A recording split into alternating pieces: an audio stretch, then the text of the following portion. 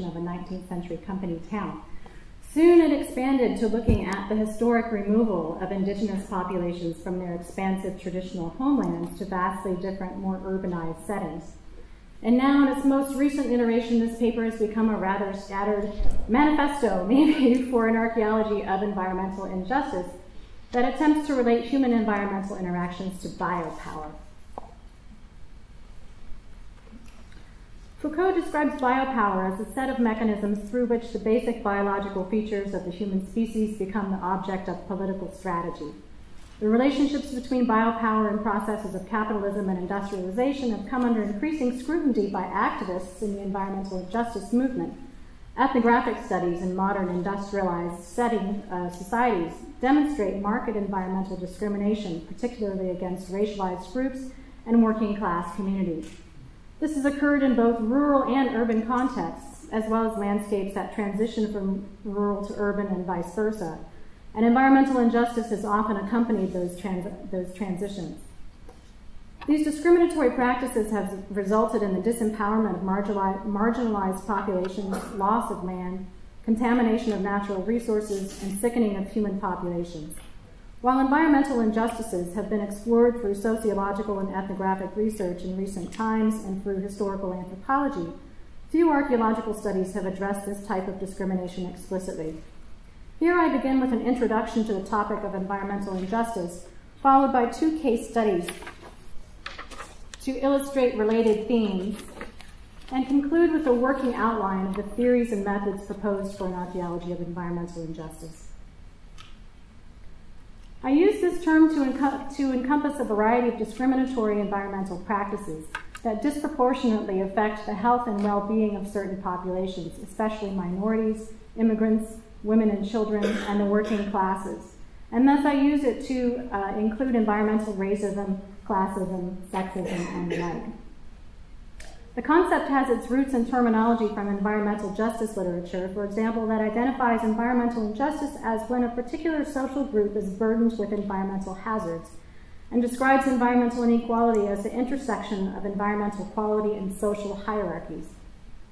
In other words, social inequalities are institutionalized and governmentalized, to use another Foucault's terms, in corporate policies and political legislation, which places certain populations at increased risk from pollution, poor sanitation, hazards in the built environment, and the effects of population displacement, among others. Such practices involve biopower, where human bodies become subjects of political and economic maneuvering, as discussed above. Historically, as in the present, discriminatory policies were not often part of the public transcript and thus cannot be found in documents or must be inferred from them. As archaeologists, we're well positioned to find material remains of environmental injustice that might not be visible uh, otherwise, and to illuminate the historical roots of modern injustices. The idea that uh, archaeology should be attuned to modern political conflict and social justice is not a new one. A number of archaeologists have developed a rich trajectory of political and emancipatory archaeologies and an archaeology of environmental discrimination fits comfortably within that literature. It's also related to what Don Hardesty described as a global change archaeology, which seeks to document and apply historical knowledge of past human environmental interactions to the understanding of contemporary problems and the management and planning for future sustainability. Critiques of social injustices around environmental issues are implicit in many researchers' work, even if they do not explicitly frame them as biopolitical discrimination against a particular population. For example, almost any archaeological study of historic indigenous populations probably documents the displacement of native people from their traditional homelands and the resulting interplay of human geography, environmental conditions, access to natural resources, and human mental and physical health. The same can be said for other racialized groups, such as enslaved Africans and their descendants, who were often subjected to harsher living conditions than their white counterparts. Projects addressing immigrant and working class populations also illustrate environmental discrimination. The archaeology of the Colorado Coalfield War clearly addresses the effects of biopower on the bodies of striking miners and their families as they endured harsh conditions in temporary tent colonies. Stacey Camp's book, The Archaeology of Citizenship, demonstrates how one American company quietly placed Mexican immigrants immigrant laborers into dangerous and unsanitary living conditions, but publicly blamed their personal hygiene for spread of disease. Archaeology at company towns like Fayette, Michigan can also provide very clear examples of environmental discrimination. Fayette was a town entirely built and operated by the Jackson Iron Company from 1867 to 1891 to support iron smelting.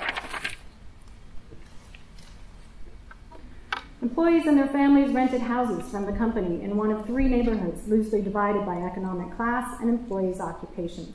An upper class neighborhood occupied by the superintendent and the doctor, a middle class neighborhood predominated by skilled tradesmen, and a working class neighborhood occupied mostly by laboring immigrants and their families. Their working class residents, who were mostly foreign born, experienced environmental discrimination in the form of an industrial waste dump known as Slag Beach, which was located adjacent to and within their neighborhood. Excavations in the working class neighborhood revealed thick, a thick deposit of slag and charcoal mixed with large quantities of household refuse. Earlier excavations of working class houses there showed that families there may have made the best of it by heaping the industrial waste up against the footings of their log cabins as extra insulation, insulation from the harsh winters. During our later excavations there and in the other two neighborhoods, we began to realize that the middle and upper class neighborhoods had much, much cleaner yards although we did not attempt to quantify such observations. Access to sanitation was also very different between neighborhoods as well.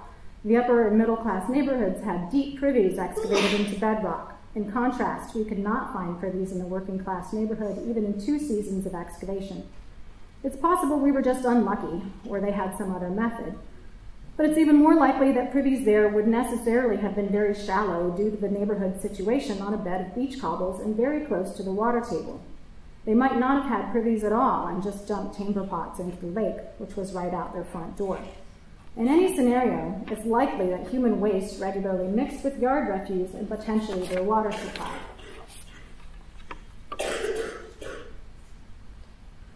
Other environmental differences became clear with the use of ArcGIS. Viewshed analysis showed that the upper classes in particular had magnificent views of the town site, while the laborers' view was mostly of their own extremely crowded neighborhood. Most working class cabins were placed roughly 10 feet apart.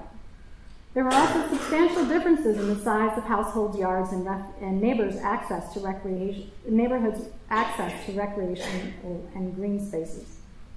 The upper class housing was surrounded by large wooded areas, as well as roads and trails that functioned as promenades. In contrast, the working class houses, uh, housing was tightly packed between a steep bluff and the lake and adjacent to Slag Beach and the train tracks. Their route to work to the furnace took them past the jail every day uh, as subjects of symbolic violence.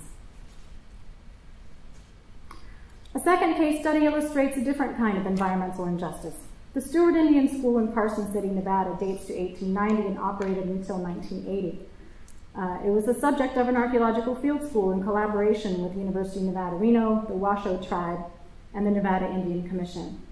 Like other similar schools in the U.S., it was mandated in 1890 by the Bureau of Indian Affairs and established through federal policies designed to force assimilation.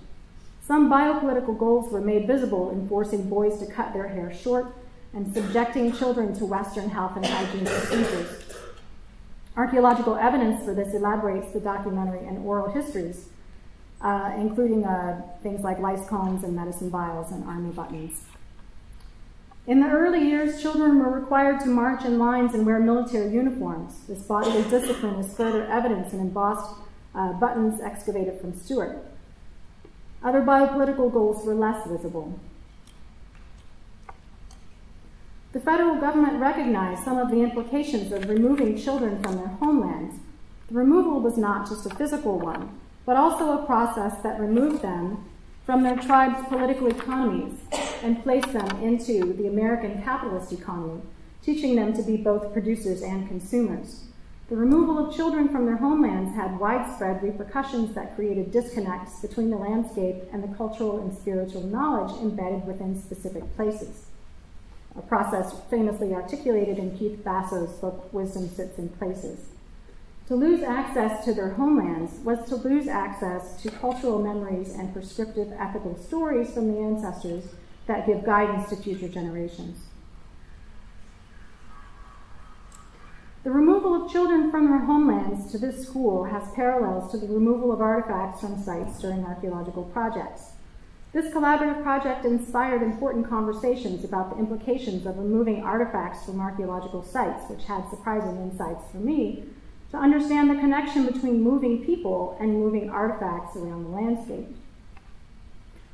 This is in contrast to how uh, the federal legislation is written, which of course encourages uh, the archaeological conservation of materials for future study. Um, and allows and encourages the, the, scientific removal of these artifacts from one place to be curated elsewhere. In contrast to this, uh, one of our research partners from the Washoe tribe explained the importance of leaving certain kinds of artifacts in place. He said, if all the artifacts are removed from the landscape, then we have nothing to show that we were ever there. This is why it's so important to leave archaeological materials, lithics, etc. in place. It is our story, and we want to maintain that connection to the landscape. No one should have the right to erase history by the removal of material evidence. His comments reflect knowledge and values that are not present in the governmentalized discourse of legislation. For instance, many American Indian tribes respect power that is tied to specific places and objects, power that should not be casually disrupted. As an example, among Numic speaking tribes, this power is known as puha, which, according to cultural anthropologist Alice, Alex Carroll Ruska and her colleagues, pervades all manifestations of the visible world and concentrates in certain people, places, and objects to higher degrees than others. Intentional disposal of objects on the landscape is sometimes an effort to both harness the power of that place and lend power to that place. Citing work by Jay Miller, they further describe Puha as a cosmic force that, together with the life force, forms the fabric of the universe. It constantly flows through a web like structure that connects all things and beings, humans or otherwise, that make up the universe. As such, ordinary, ordinary places become charged with repeated use prayers, depositing artifacts, storytelling, linguistic inscription, and memory anchoring. So, in essence, an archaeological project that disturbs the earth may adhere to federal and state regulations, but still risk disrupting the very fabric of the universe. A quick story from the Stewart Indian School project illustrates this possibility to some of us. On the day we first broke ground on the excavation, Mark, the eldest member of our crew, who's an archaeologist and also a member of the Washoe tribe, gave a prayer and led us in smudging with burning sage.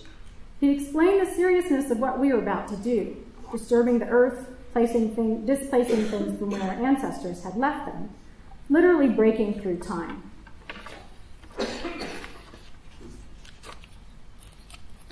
Mark's opening prayer and our ground disturbance at once converged with this place's dark past, its contested present and uncertain future.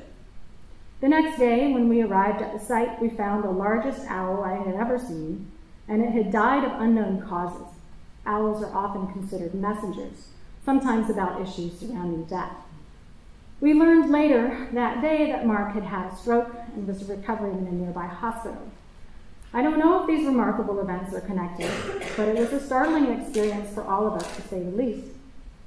Uh, to consider that the movement of artifacts could affect the lives of people today. I'm grateful that Mark and other participants will be contributing authors for a multivocal edited volume to explore these complex ideas and their implications for archaeological practice.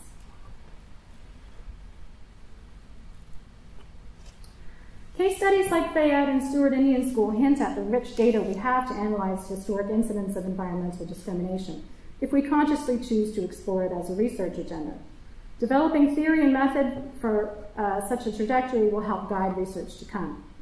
In terms of theoretical approaches that could be applied here, Foucault's work on biopower, the privilege of hygiene, and governmentality is obviously applicable. Similarly, Marxist and neo-Marxist theory regarding class relations has already been applied extensively in archaeology of capitalism and can be extended with a more explicit focus on class and the environment, as in doing comparative studies between class-based neighborhoods or studying the health effects of dangerous work environments. Scholars in the environmental justice movement provide a number of related frameworks for conceptualizing and modeling this type of inequality. For example, sociologist David Pellow advocates for the study of agency, particularly in regard to problematizing researchers' tendency to present the target of the target populations of environmental inequality as simply passive, reactive, or invisible. Instead, he proposes a life cycle analysis that includes not just industrial waste disposal, for example, but considers the entire process of resource extraction, commodity production, distribution, consumption, and disposal. Something more complex than the so-called end of the pipe approach often found in the literature. The end of the pipe at Fayette was Slag Beach, and for many Native children, it was Stewart Indian School. But these were driven by larger processes of capitalism in which people from many parts of society actively participated. Also from sociology, ecofeminism and black feminist theory bring much needed attention to the effects of power, not only on minorities, but also women and children. Their emphasis on intersectional identities and socially lived knowledge illustrate how scientific discourses have been used to justify discriminatory practices against women and people of color, and that historically they were often leaders in the environmental movement. In our case studies, we might seek out evidence of women's contributions to the environmental movement and healthcare at our sites, since female employees, wives, and mothers, as well as children, were often at the forefront and home front of these lived experiences of poverty, dangerous environments, and poor access to sanitation. From our own field of archaeology, we can draw upon approaches in the archaeology of global climate change such as those posited by Mark Hudson and his colleagues, which examine social justice and environmental sustainability within a Braudelian framework. Thus, the new face of ecological archaeology can provide key ideas for studying environmental injustice from a more holistic approach to human-environment interactions. Similarly, Don Hardesty's global change archaeology offers theoretical insights into the relationship between environmental archaeology, applied anthropology, agency, and praxis. As for methodological approaches, the basic starting point is to ask how can we recognize archaeologically when environmental practice has become institutionalized so that it disproportionately affects a certain, usually marginalized group. As one example, we can study loss of land, for instance, by Native American populations, because it had far reaching and complicated results for human environmental interactions. As a methodological starting point, GIS can help illustrate land loss and population movement around known archaeological sites and from there, we can begin to extrapolate um, from remains of foodways, healthcare, and sanitation, as well as health consequences and environmental alterations that accompanied these sweeping changes. Sanitation is another area of research where archaeologists have already made headway. Uh, as discussed previously, archaeology's standard methods in studying historic sanitation have already been applied to show that marginalized groups often had less access to sanitation than their more privileged counterparts have to read faster. Studying the incidence of pollution at historic sites also has tremendous potential to uh, illuminate past environmental injustice. When excavating the three neighborhoods at Fayette, we did not include systematic sampling procedures that would compare incidents of industrial waste in domestic contexts, but it simply did not occur to us this might be useful to quantify. But it would be enlightening to do so. Archaeologists working at similar sites could sample yard debris to compare the amounts of slag found in each neighborhood or conduct uh, X-ray fluorescence analysis of sediments to check for toxic elements such as mercury and uranium, which could be especially common in mining and ore processing communities. We would then have concrete data on which, uh, which groups were exposed more than others. Environmentalist Michael Gelobter discusses three clusters of variables that can measure current environmental discrimination and archaeologists could conceivably identify these in the material record. Uh, regarding exposure to pollutants, he suggests we examine these factors as factors such as proximity to pollutant sources, as we did at Slag Beach, and whether all members of the community were equally protected from pollutants by corporate or government policies. Gelobter also points out the discriminatory practices often found in people's viewsheds and proximity to open space, recreation, and nature. Again, spatial evidence for this is quite clear at Fayette and probably elsewhere if we choose to examine and frame it as such. A third group of very telling variables is related to health impacts on different groups that could be related to environmental conditions. At historic sites, we look for evidence of health impacts from working and living in polluted environmental environments or neighborhoods with poor sanitation. This might come in the form of medical paraphernalia, evidence of human parasites, and historic documents. The thoughts presented here are just a few opening ideas to work toward an archaeology of environmental discrimination. We are poised to examine these issues at a wide variety of locations, including indigenous sites, sites of enslavement, industrial communities, or any urbanized setting, and spaces in between. Much of the data needed to examine these questions is already at our fingertips should we choose to frame it as such. In the bigger picture, this is another of many ways that historical archaeology can contribute to the understandings of the modern world, particularly by examining environmental discrimination in historical and ideological contexts and asking how much these practices have persisted into the present.